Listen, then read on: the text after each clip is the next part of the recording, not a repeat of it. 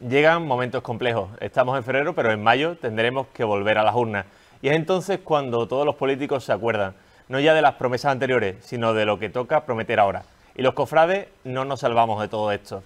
Es momento de nuevas promesas, de fotos, de acercarse eh, de la utilización de los, de los colectivos para arroparse y buscar un único objetivo, el voto, porque no se llamen a engaño. Sus intereses, los nuestros, eh, no les importa a nadie, a ningún político. El único interés es, evidentemente, sumar más votos a la causa que es a cada uno de ellos mismos.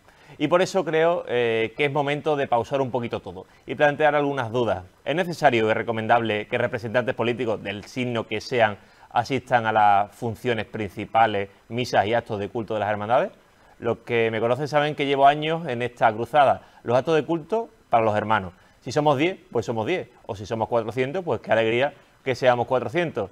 Pero eso de llenar y rellenar actos de culto con representantes políticos es ahora, antes y mañana un auténtico despropósito. Otra cuestión es que si hacemos una eh, presentación de un cartel en una dependencia municipal, pues que es normal que se invite, evidentemente, a quienes son representantes de la ciudad y, por tanto, los gestores de, de estos espacios públicos.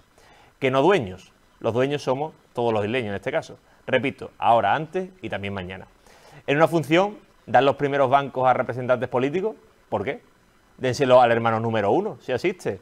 O, por ejemplo, a anteriores hermanos mayores o representantes de otras hermandades que nos acompañan. Pero a políticos, pues no es el político hermano, que si el, el político de turno lo fuera, pues que vaya al banco X como cualquier hermano que es, como lo hacemos todos los demás.